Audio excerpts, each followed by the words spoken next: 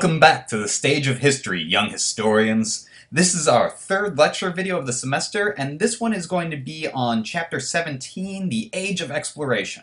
But before we even say anything about what is in the chapter, I want to speak about what's strangely absent from a chapter called The Age of Exploration, and that is the contributions to exploration by non-European explorers, in particular the Chinese. At the beginning of the time this chapter studies, the 15th century, Chinese Admiral Zheng He was exploring the entire Pacific Ocean, and doing so with fleets and ships that, quite frankly, dwarfed European ships of the same time. He was also doing so with, with much greater precision than Europeans were, and there's little way that you could honestly look at the 15th century and not say that the Chinese were equal to, if not better than, European explorers. So it is important that we point out that bit of selection bias on the part of our textbook here. We're studying the European age of exploration in Chapter 17. There, fixed it.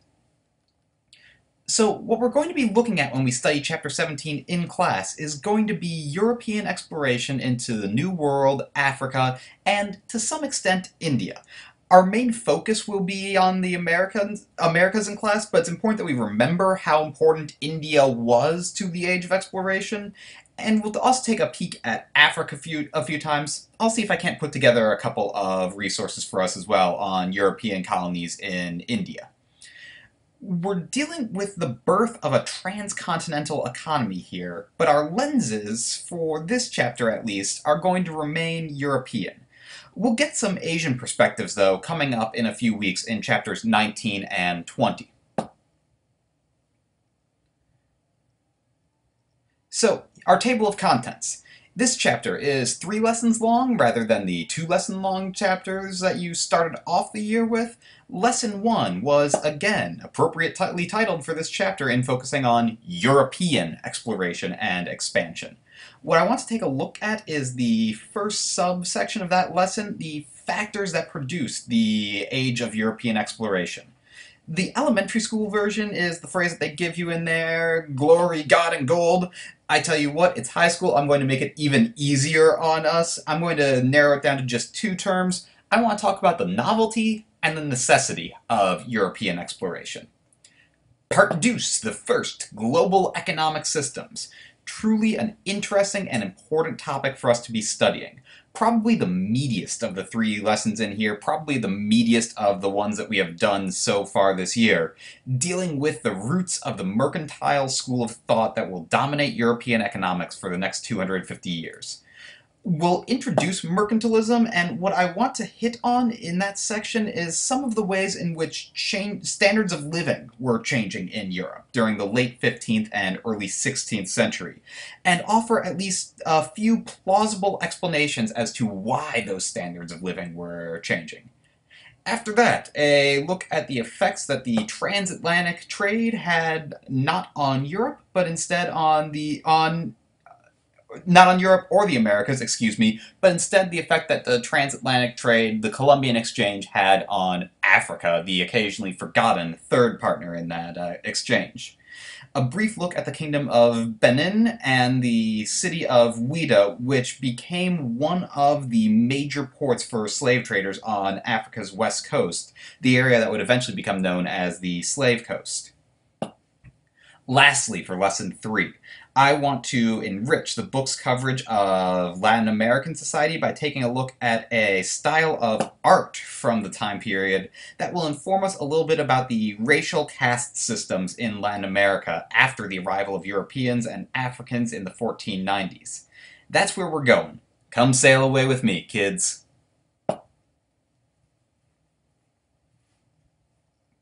So the age of exploration there's a whole mess of reasons that we can point to as for why it is that Europeans started taking to the seas and exploring other continents in greater numbers in the 15th century. In asking why that happens in the late 15th century and not the 13th or the 17th, there's really two simple explanations that we can point to, and as I think you'll find out I'm implying in this presentation, there's one that I like better. One idea is that they were doing it because they could. The other is that they were doing it because they had to. And while how I'll delineate these is the two words that I used on the previous slide, novelty and necessity, I'll call them. One way of understanding this that this is that this is was something that happened because now it could, and it wouldn't have been possible at any earlier point in history. The this there being the age of exploration, being crossing the Atlantic. It was new, it was a novelty, and any argument there is going to focus on the changes in technology that were going on in the time period. Now, your textbook points to a number of changes to ships themselves that made them more seaworthy at this point in history. In particular, it points to the Portuguese caravel as being the ship design that made transcontinental sailing possible for Europeans. And this is true. It was the design of lighter, faster, more maneuverable ships that made the type of sailing that the Spanish and Portuguese did during the Age of Exploration possible, but it was hardly brand new at the time. Uh, caravel is a Latin word. It's a, well, it's a word derived from the Latin word carabus, a word that the Romans only needed because they had them. They had ships that were very similar in overall design, if not actual quality, to the caravel that would be used during the Age of Exploration. Ships similar to this caravel had been used as early as the 3rd century BC, so in inventing the caravel, the Portuguese are mostly reinventing the wheel. Lateen sails, a shallow hull that allows you to maneuver and explore coastal waters, yeah, these things are necessary for exploration, but they're not new technologies, they're just new applications of old technology. European shipbuilding is getting better during this time, but it's not getting radically different.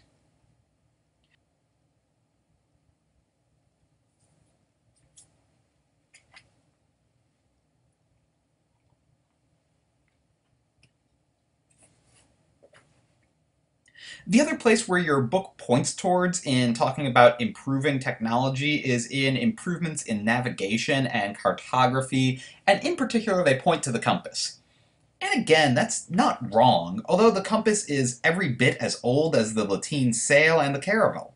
Your book mentions that the compass is a Chinese discovery. It doesn't mention that that discovery was sometime around 200 BC, although for the first several hundred years, it was mostly used as a toy and a gimmick uh, used for divination before ultimately being applied to navigation. Europeans actually gain access to the compass sometime in the Middle Ages, about 1100 or so, but what they invented closer to the time of exploration is something called the dry compass, a compass where the magnetic pointy doohickey doesn't need to be suspended in fluid in order to work. That's invented somewhere around 1300, and that is much more handy for use on board a ship. Why is it then that it's not until 1420 that the Portuguese kick off our age of exploration by sailing up and down the Af west coast of Africa? I people are lazy, but they're not wait around for 120 years before you try a new invention lazy.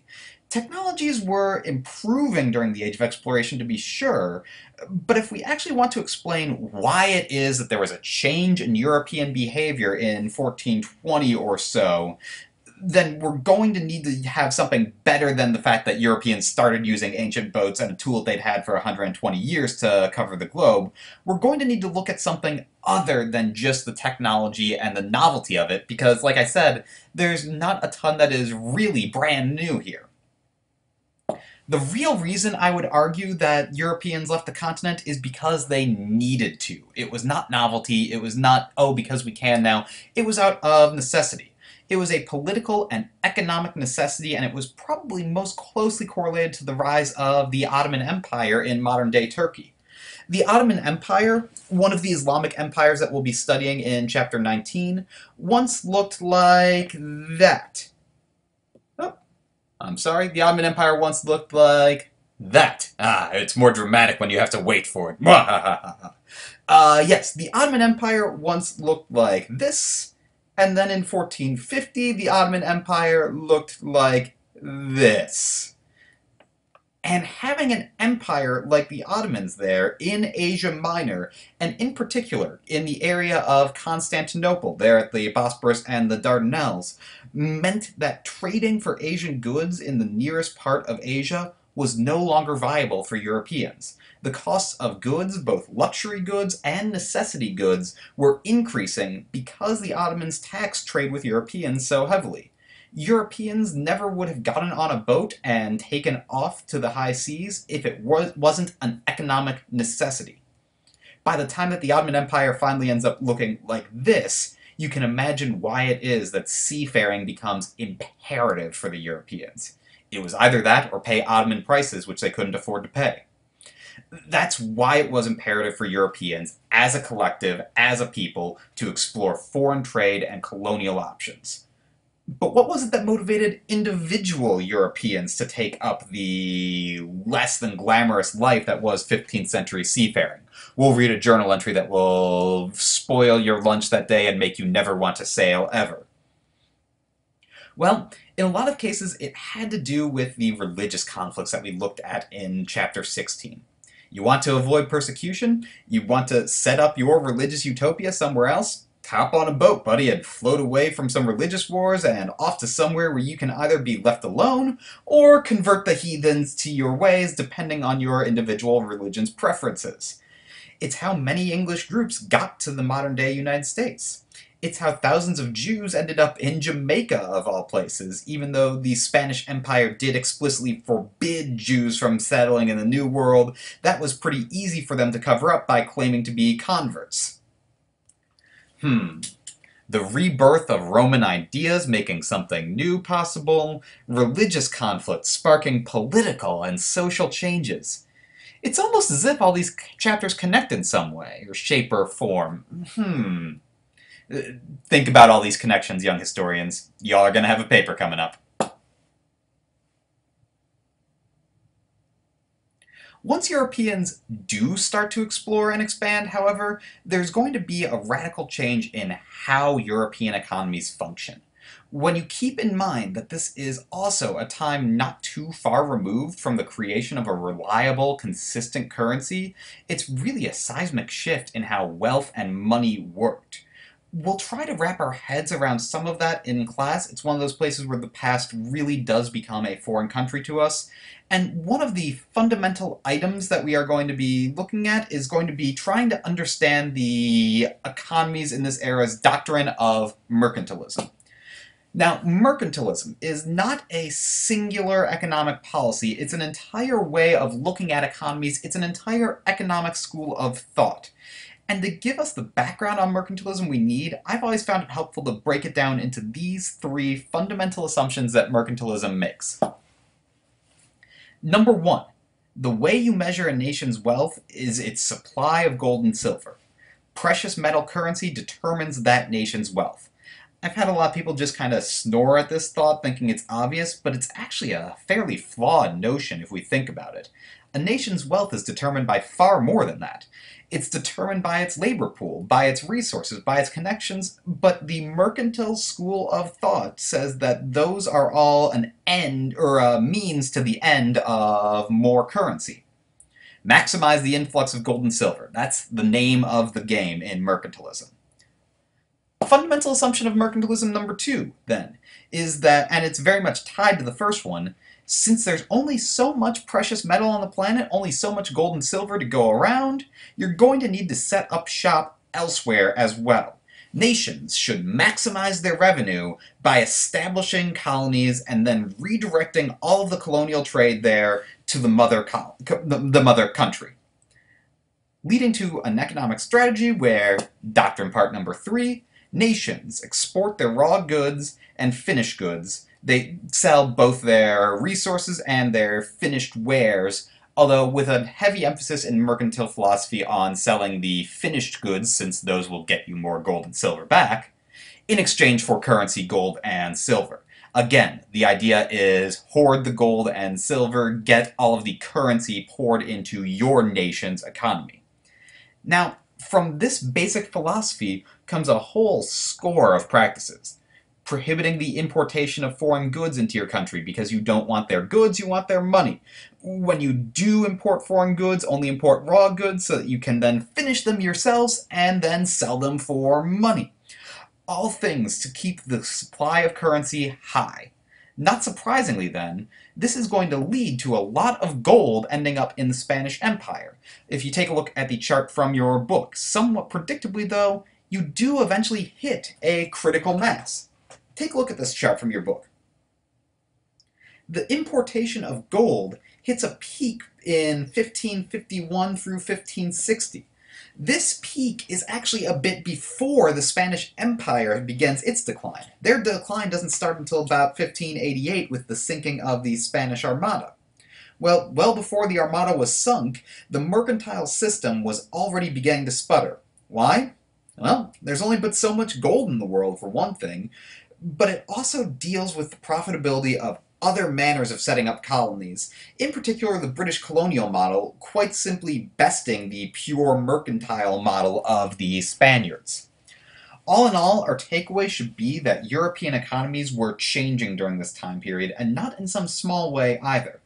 Not only were they changing for the wealthy, those who were concerned about policies of mercantilism, but they were changing for the people as well. There's a glimmer of hope here for the poor. Take a look at this data from the end of the 15th century in Brussels, Belgium, and the surrounding areas. In 1480, 27% of the census, uh, the census entries, the individual family entries in the census, were reported as being so poor that they had no income worth taxing. Well, in 1496, that number has fallen to 19% and would stay there for most of the beginning of the 16th century.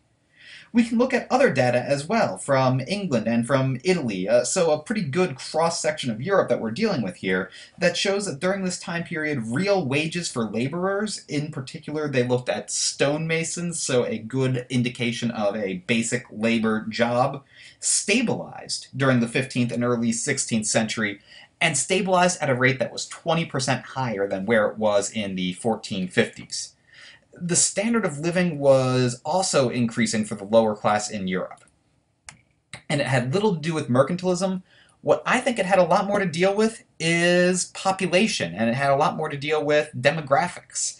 In the wake of the plague and religious warfare, famine, the works, uh, total populations actually end up decreasing in Europe from 1300 to 1400 and will stay lower than they were in the 1200s fewer living people is bad if you're one of the ones who dies, but it's actually kind of a sweet gig if you're one of the ones who stays alive because it means more employment, more land, more resources, a larger piece of the pie, and it's not just true in England shown here in the chart, but in Europe as a whole as well. With the population dropping to about 60 million in the 1400s and 1500s before increasing again, a change that we will also be studying as populations tend to do. It's very rare that you see a drop in true population level like this. Populations are almost always increasing. Although the European population isn't the only place that sees a decline in its population during this time, and in Africa the population hit doesn't come with an increasing standard of living, it comes with warfare and poverty taking a look at Africa, in particular, the Kingdom of Benin and the city of Ouidah, seen here in the image in the background. Benin is a is particularly selected by your textbook as an example of the worst of the worst as far as the impact that the slave the slave trade had on Africa itself. The Kingdom of Benin, slightly different from the modern-day nation of Benin, but still situated in the same general part of Africa. We're talking about the southern shore of the west coast, the area that would become to be known as the Slave Coast during the centuries of the slave trade.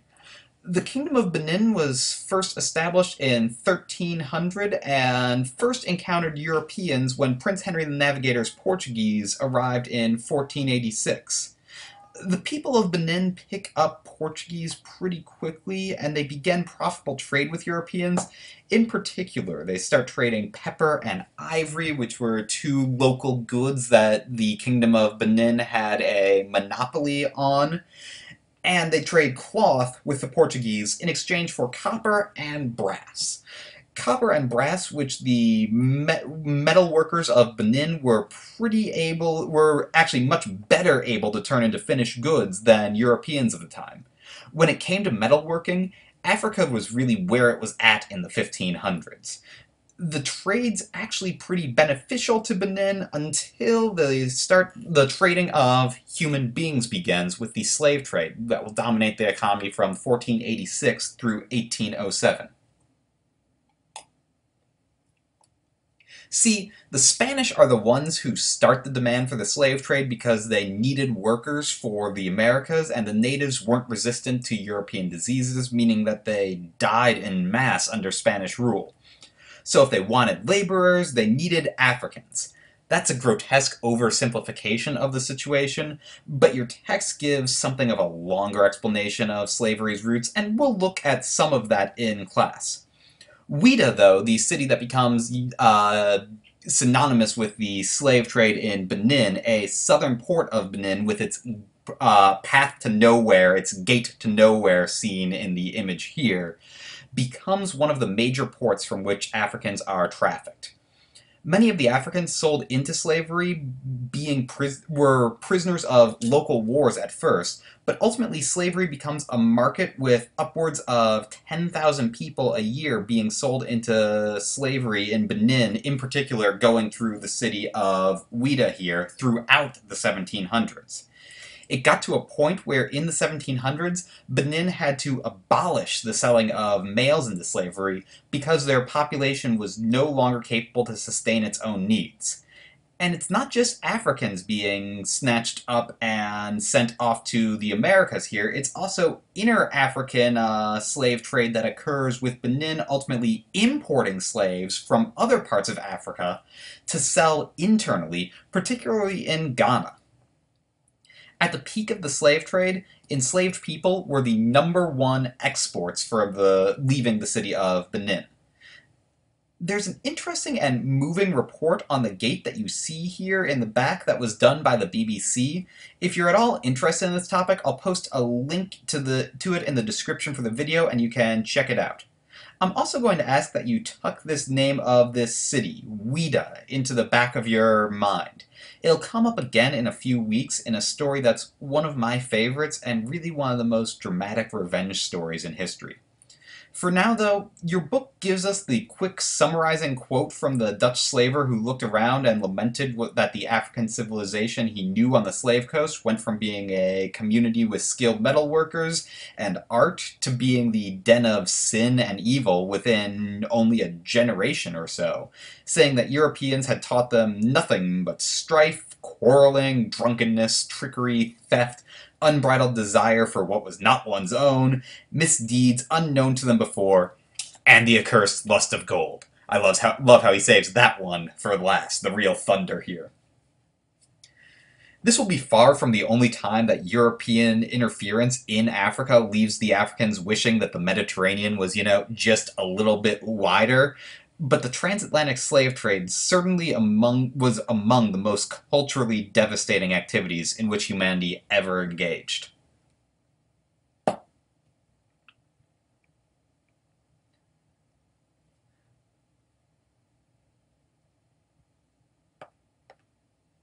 Lastly, a word about society in Latin America. Now, what that word Latin America even means can be a slippery topic for us, if we say it's Central and South America, that leaves out a good number of Caribbean islands. If we say that it includes the Caribbean, then, then there's certainly islands there that don't count as being Latin. If we try to label it then as being the Spanish language, we'll have to cut out Brazil. If we try to label it as being anything that's derived from a Romance language, well then we need to start including Montreal. It's really a tough region to define, so for the moment we'll just go with most of Central and South America, but acknowledge that the distinction there is imprecise. Anyways, at right, we have a form of art that was unique to Latin America. What you see here is not a comic book, as I so often hear guessed. It's what we would call a casta painting. Casta, as in cast. You'll remember India's rigid caste system from your studies last year with Miss Chopra. The idea that race is indicative of social standing and determines one's class. Well, that's easy to do in some societies, but in Latin America during this time in the uh, 16th and 17th centuries, we see that the introduction of two brand new races, Europeans and Africans, are in these two new races are introduced into a previously homogeneous ethnic landscape. Within generations, just a few generations, a caste system of its own starts to form, and you see that legacy in your text's vocabulary for Chapter 17, Lesson 3. Vocabulary like mulatto, mestizo, all manner of terms for the potential different combinations of races. But how do you keep them all straight? Well, enter the casta painting. Created in different regions, Casta paintings showed the different combinations of races and what their offspring might look like. More than just a picture of what a child might look like, though, and what the local term for that child might be, these paintings also showed what lifestyles looked like for people in that ethnic group. Usually with the aristocratic Europeans, the peninsulares shown upwards towards the top higher on the list, and mixed races ending up further down on the list, and you can see a descending quality of life as you look further down on that list. For instance, we can take a look at one Casta painting here, and we see the text from the image reads, from a black man and an Amerindian woman, or uh, Negro e India, it says on there, sabe un lobo. A mixture, they get a combination out of that that they call a lobo, a wolf and that wasn't the only animalistic name that was given. Uh, mestizo and an Indian, well, that three quarters native mix, that's going to be referred to as a coyote. To some extent, the Casta painting is a symbol of the systemic racism that dominated Latin American culture under colonial rule we can see the direct line between race and wealth. We can see that certain groups are being labeled with potentially racist, animalistic names like wolf and coyote. But there's something else that we need to remember about these paintings, and that is that there was a word for everything. You're 3 16ths white, 5 16ths Indian, and half black? Oh yeah, we've got one of those. There's a name for that. There's a name for everything in these Casta paintings. And with the exception of unicorns and the platypus, we don't usually come up with names for things that don't exist. So while there was a rigid class system, yes, these paintings show us that romantic and familial bonds blurred those lines and gave us very rich and complex culture, one that led to a lot of mixing of races, and one that I look forward to studying in class with you in the coming week plus. That's all for this episode. Until next time, true believers.